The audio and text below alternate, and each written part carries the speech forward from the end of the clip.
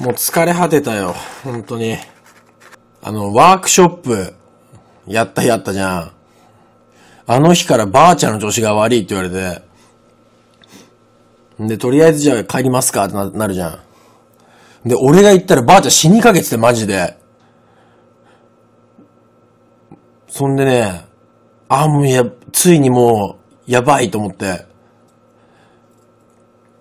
だけど、復活するっていうね。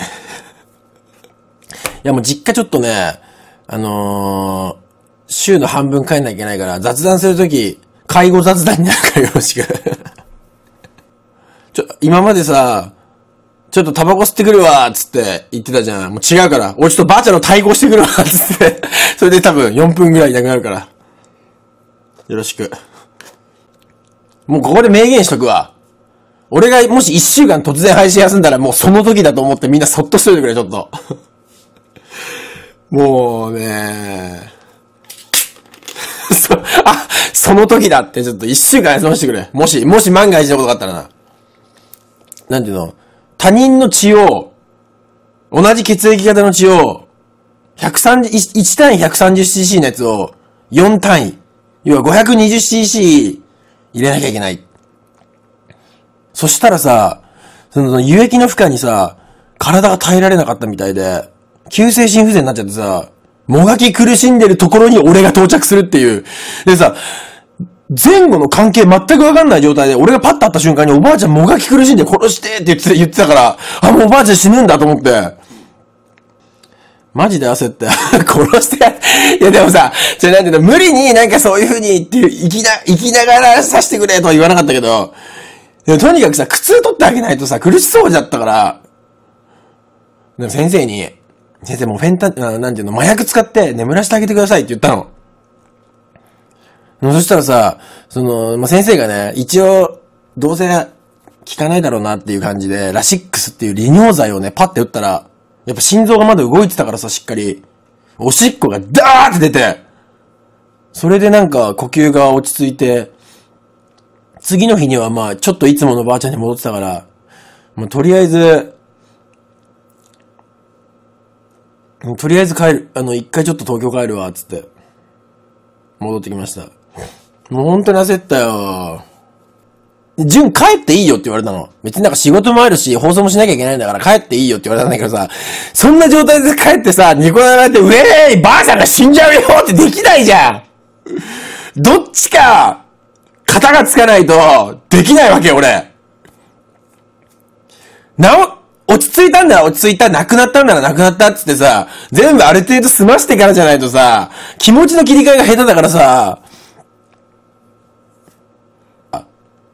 実家にさ、俺の部屋ができたから、そこで、ばあさんをチラチラチラチラ見に来ながら、ニコ生やんなきゃいけない。ちょっとなんか環境があるから、週の半分東京いるから、そこではゲームの放送して、実家でちょっとさすがにさ、ゲーム配信できないから、雑談と企画をちょっとやっていきます。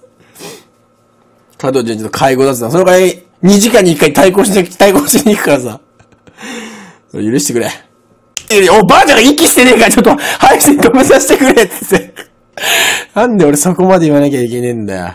ゆっくり生かしてやってくれ、もう。90まで生きてよ。誰にも迷惑かけずに頑張ってきたんだから。おばあちゃんがさ、だからさ、無意識朦朧としてんだから、おばあちゃん、純が来たよって言ったら、俺、珍しい人が来たじゃんって、あんまりにも実家帰ってなかったから、そんなに感動されないっていうね。俺、珍しい人が帰ってきたじゃんって。こういう時じゃなきゃ帰ってこねえっつって。死にかけてるばあさんにさ、心配させられちゃって、煽られちゃったよ。したらもうまた言わねえけど、ちょっともう実家に帰って、実家で起こったいろんな話さ、もういっぱいしていきよ。実家で起こった商品、あ、商品名じゃない、あの、そしたらさ、もう親父がさ、兄弟と喧嘩し始めてさ、ばあちゃん死にかけてんだよ。隣でさ、うちのおとお父さんと一番兄弟の下のやつがもう大喧嘩し始めて。もう最悪だった、ほんと。ばあさんが死ぬって、なんだっけな。ああばあさんが死にまうからみんな来いよって言ってましてさ。で、商売やってる人もいるからさ、俺だって今ちょっと、今すぐには行けねえよみたいな話したら、そんな大声出すんじゃねえよみたいなこと言って、俺は長男だぞみたいなこと言い始めてお父さんが、あいつはもうダメだっつって。おばあちゃんがさ、もうめちゃめちゃ苦しんでんのにさ、もう大喧嘩し始めて、病院のベッドで、面会時間外に。そしたらおばあちゃんそれが気になっちゃってさ、おばあちゃん死にかけてんのにさ、周りの心配し始めてて、おめえら、帰らせえよみたいな感じで、ばあちゃんも息できなくて死にそうなのにさ、子供に気ぃつ気ぃつか始めて、もうほんと最悪だったよ。ものすごい喧嘩したからね。一番末っ子の男と、お父さんと同じ性格してんのね。そのお父さんの兄弟の一番下って。で耳も悪いし頭も悪いから、なんかさ、田舎の人たちってさ、電話越しの声でっかくない？あの？もしもし？みたいな感じで音、声がでかいのね。それに対してお父さんがめちゃめちゃでかい声で、お前俺に向かって何で隣にしてんだ？みたいなこと言い始めて、ばあさんが死ぬかもしんないのにお前長男の俺に怒鳴り腐りやがってこの野郎みたいなことでガチャーンとか切って。俺も声でかいじゃん。お父さんも声でかいのね。それでお母さんは、全員の味方だから、まあまあお父さんと。違うんじゃないの？お父さんって。結構話変わるけど、結婚の話とかしないのか、親と。いや、だからココスでさ、立山のココスでさ、彼女いないの？って言われて、彼女はいないよ、つって。みやこさんとはどうなの？って言われたから。いや、別に、あの、なんで、やっぱさ、放送であんなに名前出しちゃってさ、あの、迷惑かかんないの？って言われたから、別にさ、悪いこと何もしてねえじゃん。なんかさ、悪口、女の子の名前を匿名じゃなくてね、普通にパッて出して、それで悪口言ってんだったら、それは問題だけど、なんていうの？行為を出してるっていうのは別に、あ、何にも悪いことしてないじゃん。何にも悪いことしてないじゃんって言った。向こうの、だから一ファンと変わんないじゃんって。で、宮古さんにファンがいるだろ？で、その人たちは宮古さんのこと好きで可愛いね可愛いねって言うじゃん。それ変わんないじゃん、俺だって。って言った。そうだねって言ってた。それなんかさ、あの、俺のツイッター見ながらさ、この人は純の悪口言ってるっつってさ、か、携帯使えねえからさ、メモ帳にさ、ID、お前らやべえのチェックされてるからね。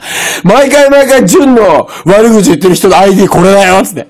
で、お母さんでもそんなのは、別に、なんていうの冗談で言ってる人もいるんだから、言ったけど、うちのお母さん怖いからね。ちゃんと ID チェックしてるから。